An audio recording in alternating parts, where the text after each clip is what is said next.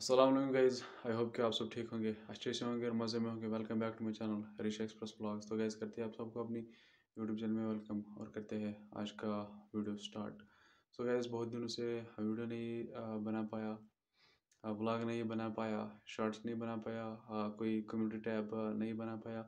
मसला ये था कि मेरी चैनल पर जो किसी बंदे ने, किसी अपने ही बंदे ने स्ट्राइक दी थी।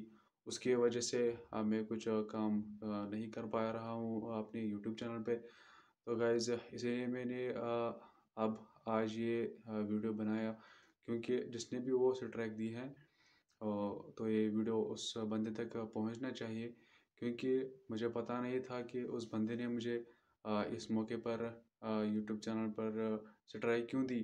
तो गाइज़ अपनी जो यूट्यूब चैनल थी वो मोनेटाइजेशन के लिए जाने वाला था, मगर बदकस्मती की वजह से पता नहीं कौन अपना ही अब क्या कहेंगे उसको अपना ही बंदा होगा, कोई उसने स्ट्राइक दी।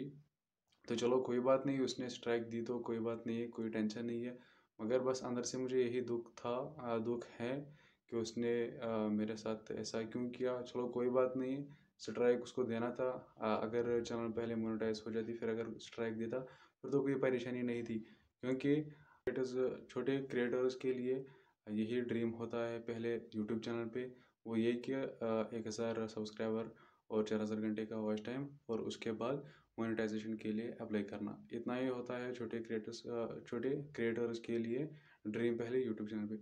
मेरा भी ड्रीम यही था कि पहले एक हज़ार सब्सक्राइब कंप्लीट होना चाहिए और उसके बाद चार हज़ार घंटे का वॉच टाइम वो तो कंप्लीट होने वाला ही था और तभी मेरे चैनल पे स्ट्राइक आ गई थी।